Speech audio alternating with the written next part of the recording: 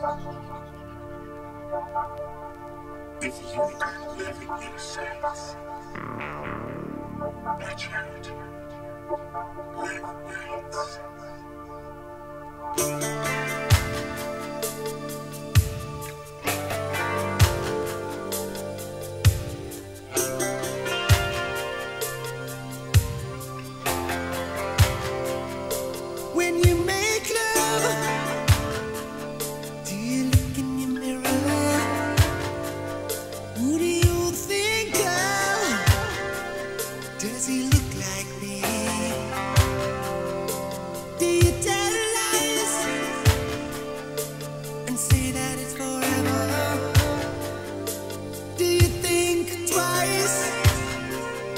just touch and see.